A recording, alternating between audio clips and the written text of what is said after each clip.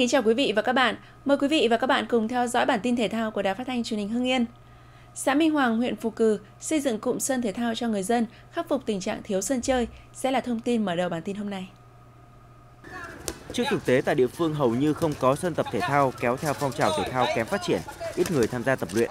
Đầu năm 2019, Ủy ban nhân dân xã Minh Hoàng, huyện Phù Cử đã trích kinh phí để làm cụm sân bóng chuyển hơi tại nhà văn hóa xã, mua sắm cột, lưới, bóng, bàn bóng, bàn nhằm khích lệ người dân tích cực tham gia tập luyện thể thao hàng ngày. Đến nay sau một năm, cụm sân tập thể thao này mang lại hiệu quả thiết thực. Người dân ở bốn thôn tụ họp về đây chơi thể thao vào hai buổi sáng và chiều. Hội người cao tuổi xã đã thành lập câu lạc bộ bóng chuyền hơi và câu lạc bộ bóng bàn. Năm 2020, xã Minh Hoàng tiếp tục đầu tư và vận động nhân dân tham gia ủng hộ kinh phí để xây dựng thêm các sân tập thể thao.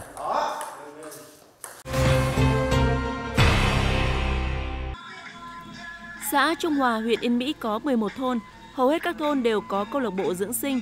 Trong đó sôi nổi hơn cả là câu lạc bộ dưỡng sinh ở thôn Thiên Lộc, Thượng Bùi, Nghĩa Xuyên. Mỗi câu lạc bộ có từ 50 đến 80 thành viên, chủ yếu là người cao tuổi. Một số bài tập như gậy ngắn, thái cực quyền, thái cực phiến đã được đông đảo người cao tuổi luyện tập từ nhiều năm nay. Ngoài những bài tập căn bản, các câu lạc bộ thể dục dưỡng sinh Trung Hòa còn thường xuyên cập nhật những bài tập mới, tạo điều kiện để học viên giao lưu với câu lạc bộ thể dục dưỡng sinh trong và ngoài xã nhằm học hỏi kinh nghiệm, tiếp thu cách luyện tập hiệu quả.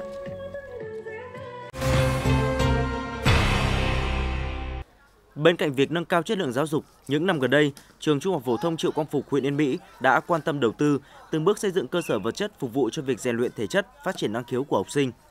Nhà trường đã đầu tư xây dựng hai sân bóng chuyền cho học sinh chơi và rèn luyện. Lớp nào cũng thành lập được câu lạc bộ bóng chuyền riêng với số thành viên từ 7 đến 10 bạn. Không chỉ say sưa bộ môn này trong giờ học thể chất mà sau các tiết học, học sinh cũng chọn bóng chuyền để giải trí.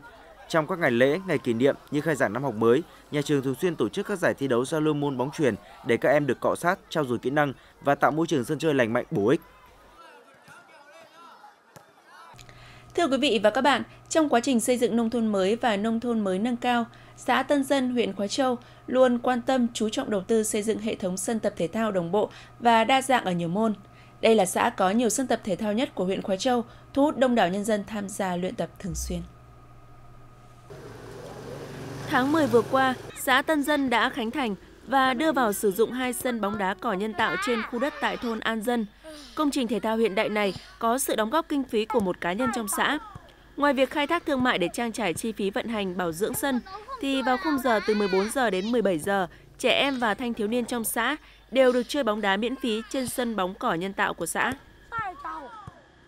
Từ khi xã có cái sân cỏ nhân tạo cực kỳ đẹp này, hàng ngày cứ sau giờ học, cháu thường ra đây đá bóng cùng với các bạn, rất là vui và khỏe.